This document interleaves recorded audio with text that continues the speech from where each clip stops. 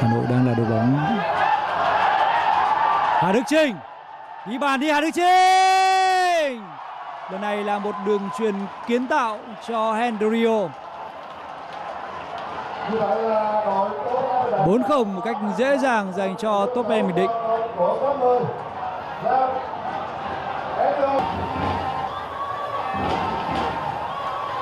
Chúng ta cùng xem lại tình huống kiến tạo của Hà Đức Trinh dành cho Hendrio không hề có lỗi việt vị. Hướng này thì Đức Trinh cũng hoàn toàn có thể đặt trái bóng về phía góc xa và tự mình ghi bàn. Nhưng số 18 đã quyết định chọn một phương án đồng đội hơn và chắc ăn hơn. Đó là chuyền bóng về phía cột 2